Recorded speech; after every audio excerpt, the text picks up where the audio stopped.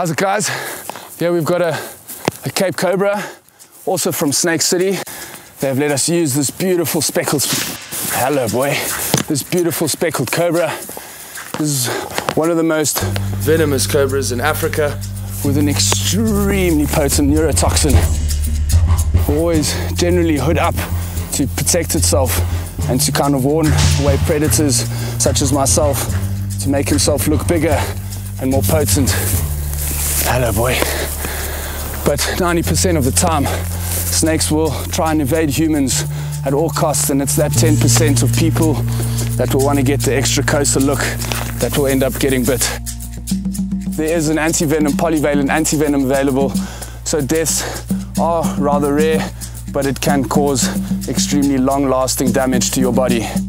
They are extremely variable snakes, uh, ranging from the bright, bright yellow down in the Western Cape to browns and reddish colors to this beautiful speckled specimen that we have here. They live in rather dry, deserty places, inhabit farmland areas, and can be a problem in that regard where they will be in the farms looking for rats and mice. These snakes are diurnal, mostly hunting in the early hours of the day.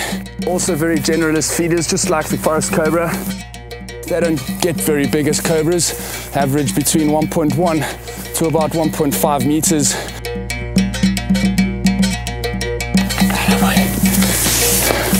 See that characteristic cobra hood? He's telling me three, four times, leave me alone, leave me alone. He's even showing me a nice big hood. It's okay, boy. Oh, that was a close one. Let's hope he opens his mouth for us. There you can see his fangs. Amazingly adapted animal. And you can see he's tired. So I really want to put him back now. Thank you very much, my boy. You're a star. So, in this edition of Van on Snakes,